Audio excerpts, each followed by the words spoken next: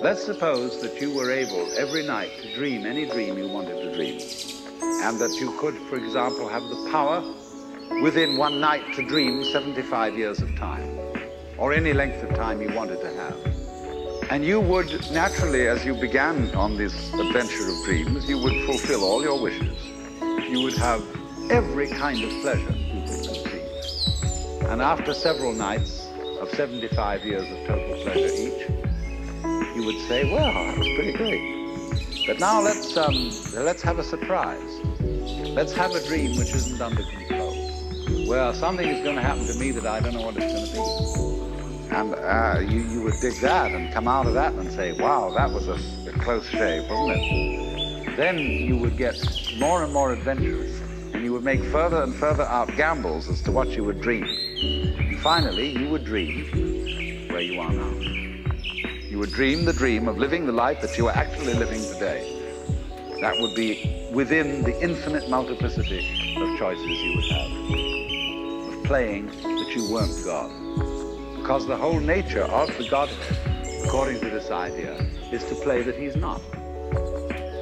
So in this idea then, everybody is fundamentally the ultimate reality, not God in a politically kingly sense, but God in the sense of being the self, the deep down basic whatever there is. And you're all that, only you're pretending you're not. So then, when you're in the way of waking up and finding out who you really are, if you awaken from this illusion and you understand that black implies white, self implies other, life implies death, or shall I say, death implies life, you can feel yourself not as a stranger in the world, not as something here on probation, not as something that has arrived here by fluke, but you can begin to feel your own existence as absolutely fundamental. I'm not trying to sell you on this idea in the sense of converting you to it. I want you to play with it. I want you to think of its possibilities. I'm not trying to prove it.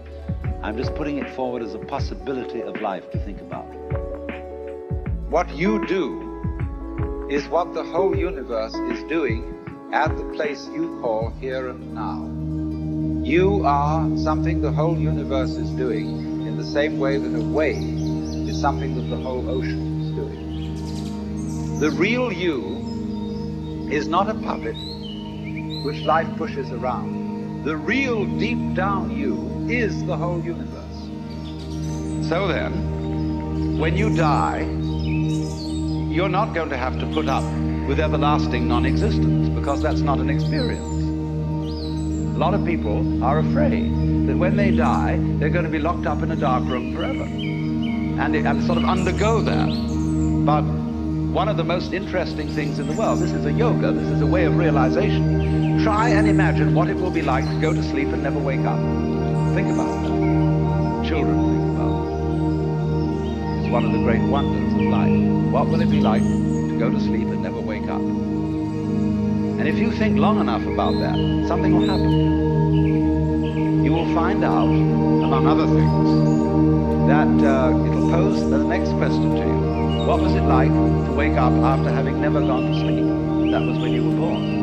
You can't have an experience of nothing. Nature abhors a vacuum. So after you're dead, the only thing that can happen is the same experience, or the same sort of experience as when you were born. In other words, we all know very well that after people die, other people are born. Back.